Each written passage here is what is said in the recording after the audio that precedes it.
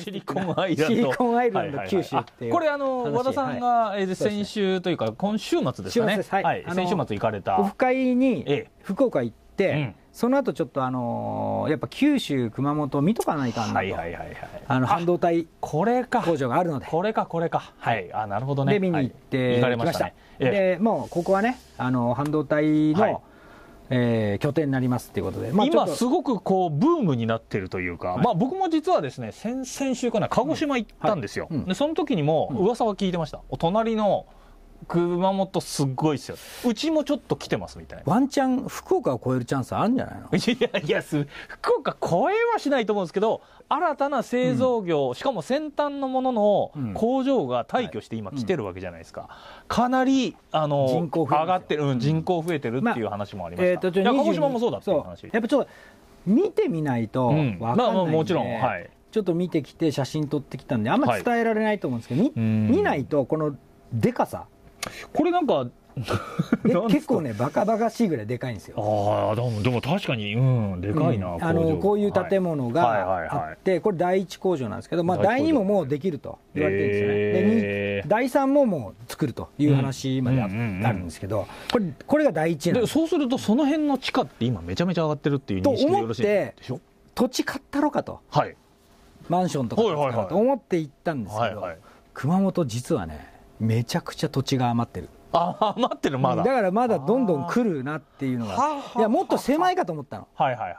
あのえー場所。場所が狭いからあここかやいいなとかいう場所がいっぱいあるのかなと思ったらあのいっぱい土地余ってた。まだまだいける。まだまだチャンスが。まだまだ容量あるなっていう。だから来るのか、そうハードディスクガバガバですぐらい空いてでるもこれって、はい。あの僕がこれ和田さんはあの、はい。ちょっとね卑下した形でこれはドメスティックな話ですけどって言いましたけど、うん。これ思いっきりうん。我が番組のうん中の最大のテーマの一つである米中の衝突っていうところから来てる。波及してる話ですよね。半導体っていうね、うん。はい。あのちょっと米中シリーズでも解説したんですけど、うん。はい。はいありました。やっぱこの戦略物資になってると半導体がね。そうですねでそれをやっぱり日本が囲い込むために、うん。まあ、持ってきて誘致してしかも台湾の方から企業も誘致するだけじゃなくて、日本のはい。国内からも、まあ、有名なところの企業がどんどんどんどん。今、はい。えー九州の土地で、そうですね。はい。次ね。はいはい。はい。えーまあこのうんえーまあ、TSMC って会社が、はい。ソニーとかね、うんうん。えーあの電装とかとはい。一緒にちょっと出資してもらってあー。作ってる、まあはいはい。はい車関係とかね、はい。センサーなんですけどね、うんうん。であのこれ JASM っていう名前なんですけど、まあ、これ TSMC のことなんですよ。おーおーなるほど、ジャパンまあアドバンストセミコンダマニュファクチャリング株式会社。はい、なるほどね。はい。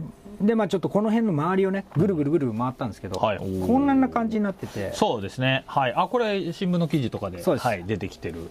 熊本駅からちょっと奥の方に入った山側に行ったところですね。そうですはい。これはいいですね。24熊本空港とはは反対側ってことになるんですね。うんじゃあこれは。はい。いや側ですよ。あれ？熊本空港、あ側か。そうかそうかそうでか。あこっちですもんね、まあはいソニーと東側ですよね。東京エレクトロンとはい。TSMC と近いんですよ。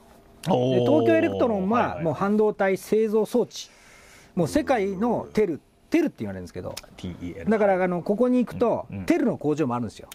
まあ TEL って書いてるんですけど。はいはいはいはい。おっとあると僕も TEL の株持ってるんですけど はい。ちょっとやっぱり TSMC と一体化してんだなとはそうですすね。これあの、はい。もっと次にはこれ、は経産省の方から出てきた資料にはもうこもういうふうに。んだけいや今来てるってことですよね、あのー半導体関連が、まあ、半導体系の会社、はい。えー周辺の、まあ、これ、もともと自動車関係はいが九州ってあったんですけど、ありましたねありました。それがまあ電気自動車にもなるし、そうか日産のね工場とかねでいろんなものもそのままやるってことで、まあ、こんだけ、そうですね。僕はこの間聞いたのは、鹿児島行ったんですけど、えっと、京セラのやっぱり工場がっていう話をおっしゃってましたね、はい。あの現地の方が。こんだけあるんですよ、もうもはやシリコンアイランドじゃないですか。あシリコンアイランド。そうです、はい。まあね。まあね、アメリカあるのはシリコンバレーですはいはいはいはいけどで和田さんは今回その、はい。そういう中で、まあ、水電力とかまあいろいろ言ってましたね、あ熊本はですね、はい。うんうんえー、とまだ土地がある、はいうん。それから工場に必要な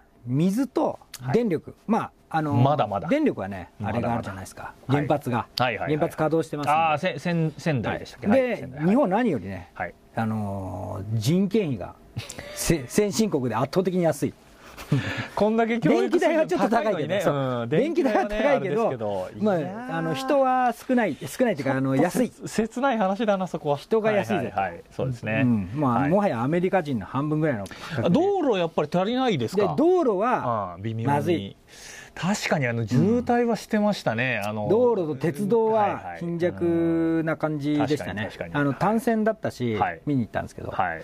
であと、まあ、あれはでも仕方ないじゃないですか、だってまさかこんなブーム来るっていう思ってるわけじゃないから、うんそうですね。あのしゃらら JR 九州、ちょっとかわいそうな部分もう。あの車両4つぐらいにしないと、うんでバンバン走らせるという感じ、はい、ただ、和田さんはその空港、あ熊本空港がすごかった空港びっくりした。というこれ、ツイートもされてたような気がするんですけど、違い。ましたっけこれがね、はい、おお、これ、僕ね、うん。これあの、見ましたけど、うん空港、こんな感じじゃなかったです、僕、コロナ前にね、空港ははい。新しくなった、僕ね、セクシーボイス先生とうん。確かね、あのなんかあの自衛隊のなんかイベントかなんかでご一緒させていただいたときに熊本行ったんですけど、その時にはこんなんじゃなかったです、まだまだ全然もうね熊本がもういつの間にこんな、まあ、新幹線も来てるし、はいはいはいはい。もうこの空港これだけやったから、うん。もう宮崎が裏九州になったって確定的な 感じですよね、ちょっと気の毒ですけど、もうあっち線がもうあ熱いそうですね、そうですね、はい、あのーラインになってしまったというあれはちょっと痛いですね、はい。感じです確かにね。確かに、はい。はい、あのーえっと、千葉のうん、やつが、うん。成田空港ができた時に、あのー千葉の内側のやつをはい。裏千葉って言ってたんですけど、それが千葉。そうところがまあはい。柏とかあれどんどん発展していったから、ええ。房総半島側っていうかね、はい。太平洋側のやつら お前らの方が裏千葉だっつって言ってたみたいな感じで九州も、もうこれ完全に表九州、裏九州みたいいやな感じでももともと大分とかね、いや、はい大分なんて言ったら慶応大学のね、うん。福沢諭吉先生が出られたところじゃないですか、はい中津とかね、い。であの温泉温泉街とかもあるし、ん。なんですけど、やっぱりちょっとこう、うまくいかないという、はい、そうそうそう。だから残まあ、あのー分かるんですよ。宮崎の悲しさは、はいはい、僕高知 高知なんで。高知なんで。裏四国になっちゃう。裏四国。はい。裏四国。で、はい。えー熊本空港ですけど、はい。うん。まああのー、23年の9月からはい。台湾直行便がもう行ってるんですよ、おもうじゃあチャイナエアラインとスターラックスっていうのが飛んでるっていうのもあって、いや、もうほぼ毎日のように飛んでるみたいなすごい感じです。よな。で2時間半で行けるとそうです。台北まで。なので、当然、国際空港化してでかいんで、イミグレとかね、うんうんあれなんかも必要じゃないですか。もちろんもちろん。で、えっ、と、まあ、道路とか鉄道はいまいちだったけど、空港がすごく良くて、もう早くも整備されてると。空港からでも街出るのにちょっとね、うん行くんですよね。確かに。はいはいはい、でう、ん。あのーうん。ちょっと、あの手荷物検査の後、そうですね、まあ、ちょっとアナと JAL のラウンジがね、うん。とカードラウンジが一体化してて、えだから、JAL とアナの人はコインもらって無限にビール飲めるんですけど、カードで入った人はいはいはい、ゴールドカードですはいとか言って入った人は、なんか一杯しか飲めないとか、えそういうちょっと差別が赤の差別がいやいやもう大事ですよねあるみたいな感は。いはいはいじだったんですけど。お、金出してる人が正義ですからで僕僕がね、ちょっと思うのは、日本の空港って、ちょっとあのーなんか、なんかただの飛行機を乗り降りする場所ですみたいな、無機質なところが多い、ちあいやいやいやですけどやっといやまあまあしょっと国際空港だとうん、若干変わってきたところもあるんですけど。熊本空港はじゃあ少しそういうちょっと商売系というか。超えてから飯食うとことか、うんギリギリ飛行機乗るまでギリギリでお飯食うとか金使うようにちゃんとしてるんですよ。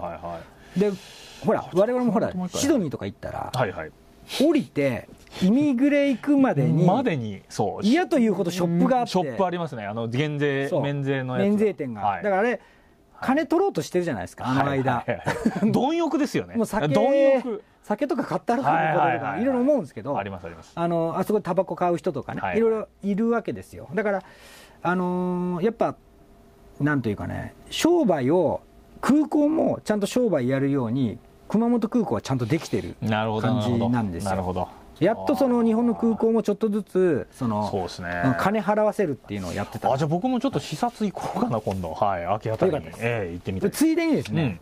ちょっと時間余ったんでお。熊本空熊本城行こうと思ったんですけど。熊本城。あでもまだ修理中ですか？なんかだけあどいやもうなってんですけど、はい和也さんが、はい。なんか阿蘇山行きたいって言い出して、おおで阿蘇山行ってきました。阿蘇山はい。僕も世界一のカルデラじゃなかった何十年ぶりか、はい。そうそうそう、加工ですもんね、でールという。まあちょっと日本のね、はい。ブルーマウンテンといいますか。グランドキャニオンといいます。かグランドキャニオンですよ。グランドキャニオンでいいんじゃないですか、はい。あとまあ温泉がある大分に通る道のところでもあるんでやっぱ湯布院とかね。こうちょっとアトラクションが足りないなと思ってて。ああマウンテンなるほどね。マウンテンバイクを置いてはい。はい。30分走っていいですよとか。あったら僕も借りてねはい。行くんですけどあとトレッキング場にするとかだだっ広いんだけどじゃあ活用されてないっていう感じなんですか？環境破壊していいからバギーとか置いて。いや 確かにでもそれはおやりたいですね。いやこれなんかすごいいいんじゃないのと思って。だからこの散歩行き出した時にはいはい。30分で帰ってきたくなるなるんですよ。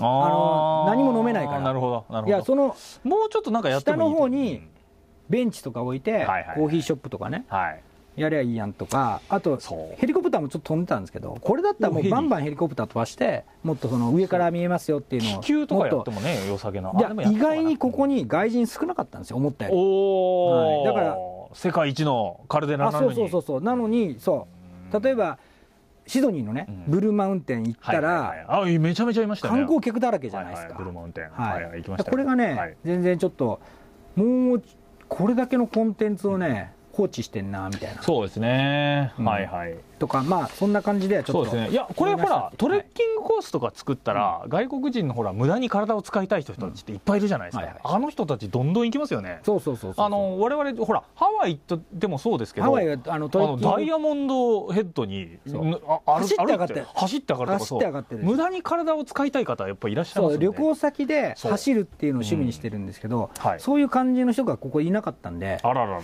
あのもったいないねえなんかあの活用できるんじゃないかっていう、なんかこれということはねはい。九州まだまだ行くよと。あじゃあいそうのことをちょっと思ったんですよ、これからビジネス的にまだ発展するチャンスはうん、あるんじゃないかと、そう。これ米中の対立っていうね、うん。大きな構造の中で意外に中国にあ中国じゃない、熊本に、あの一つこう、はい。九州も含めてなんですけど、はい。全部で上がってるという。そうです。こういう認識でそうですそうです。いいんですよね。はいそんな感じでねいやいやいやそうじゃないですか。ちょっとはい、視察して思いただいたということですね。はい。